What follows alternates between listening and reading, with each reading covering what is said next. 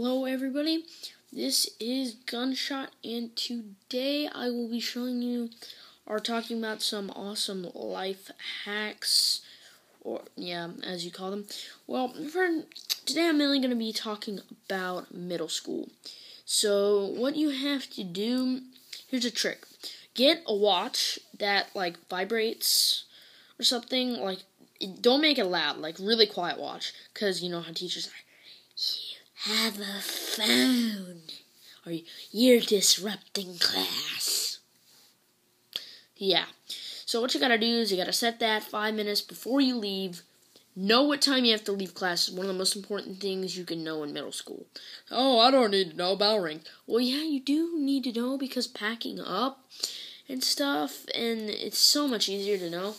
Also, when they tell you to bring your PE clothes home every Friday, do it.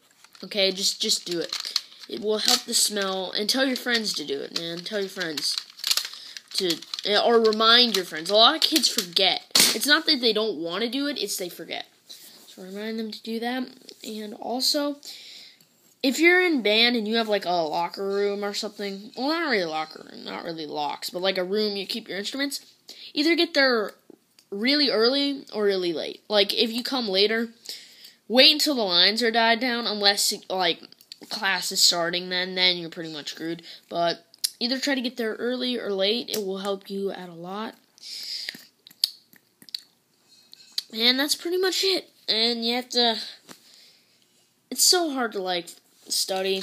Oh yeah. Write your agenda down in your planner. It'll help you a lot. Like oh i don't know what we're supposed to do next. Like especially in virtual lab where it's like you know everything ugh, you're independent Oh, yeah, yeah, yeah. Now I know. Now I know.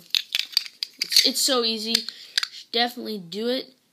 Gunshot signing off. See you guys soon.